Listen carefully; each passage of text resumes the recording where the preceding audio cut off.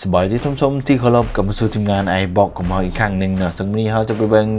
ทางด้านบินดี้เกตแก้วพรมพรเนาะเพิ่นก็ได้กลับมาอัพใส่ทีมชาติลาวอย่างเป็นทางการกันแล้ว ซึ่งก็ได้ลงซ้อมเป็นครั้งทำอิฐกันเลยในรอบหนึ่งปีเนาะซึ่งก่อนจะไปเบิ่งคลิปเอาต้องขอขอบใจคลิปจาก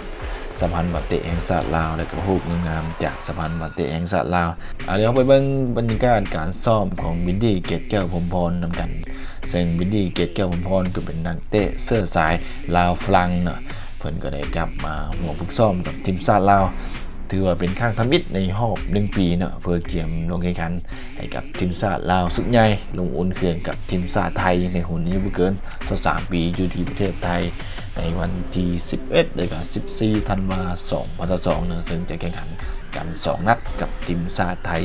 ยู23นั่นเองเนาะ ซึ่งว่าก่อนหน้านี้วินดี้เกตแก้วพรมพรก็เคยมาครับใส่ทีมชาติลาวเป็นข้างทำอิฐในประวัติศาสตร์นะก็คือดินกับทีมชาติลาวสุดใหญ่ในปี2021ที่ผ่านมาเขาห่วมกันขันบาเตะซูซูกิครับก่อนที่ว่าจะหายหน้าหายตาไปโดนเติบโดยก็มีแฟนบานต้องการให้เพิ่นนำดินกับทีมชาติลาวหลายสุดพอสมควรในระยะที่ผ่านมา แต่ว่าเพิ่นก็หายหน้าไป ประมาณ 1 ปีเนาะจนล่าสุดในตอนแรกของวันที่9ธันวาคม2022นะบิลลี่ก็ได้ลงซ้อมกับทีมชาติลาวชุดใหญ่อย่างเป็นทางการนะเพื่อเกียมลงอุ่นเครื่องกับทีมชาติไทยยูซาวสามแต่ก็ยังเป็นการเกียมพร้อมใส่รายการใหญ่ก็คือการแข่งขันบานเตะซิงแชมป์แห่งชาติอาเซียน หรือรายการ AFF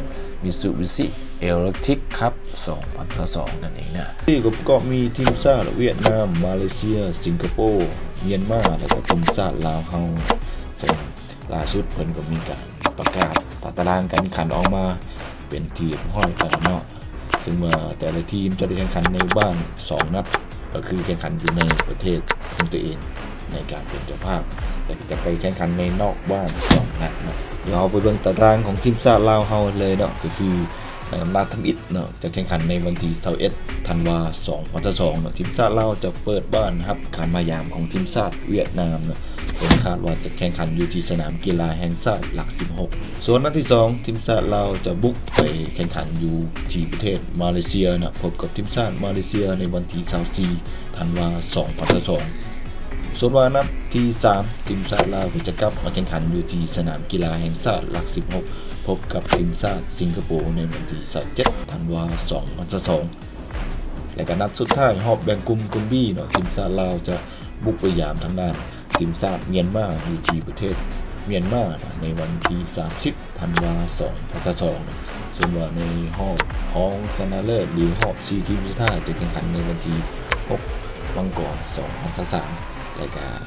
วันที่ 7 มังกร 2023เนาะ ส่วนวันนัดที่2หอบห้องชนเลิศจะแข่งขันในระหว่างวันที่9 50มังกร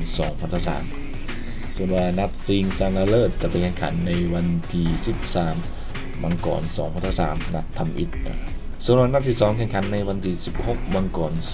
2023ในนัดซีงซันเลิศนะก็นั่นถือว่ารายการนี้คนจะแข่งขันบ้านนอกบ้านทั้งในหอบแบงกุมหอบซีทีมหอบซีงซันเลิศนะจะแข่งขันคือการเล่นกันเลยนะ แข่งขันในบ้านนอกบ้าน